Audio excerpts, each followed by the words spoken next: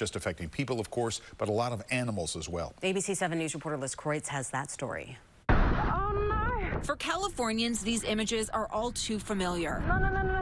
More than 200 fires are burning across two of Australia's most populous states. Thousands have been forced to flee. The U.S. Embassy has issued a warning telling tourists on the country's south coast of New South Wales to get out. At SFO today, people arriving from Sydney said they've never seen anything like it. You can smell smoke all the time. There's ash falling on the clothes.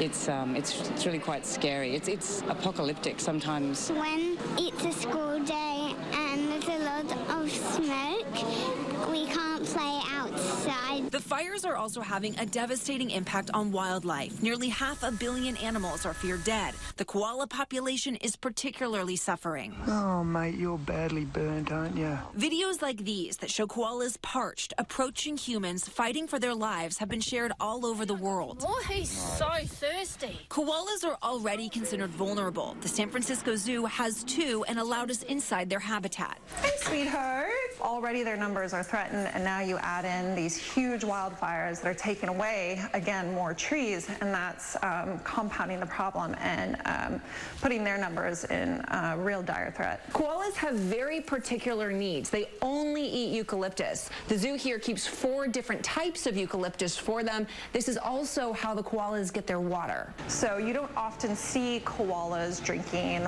water. Um, when you do, it typically indicates that there may be something else going on with the animal. People around the globe are trying to help. So far, more than $2 million has been donated to an Australian koala hospital. So what happens even when these fires end? What right. Um, well, they're going to have to plant a lot of new trees. That's going to be the key thing is planting more eucalyptus. In San Francisco, Liz Kreutz, ABC 7 News. All right. Well, United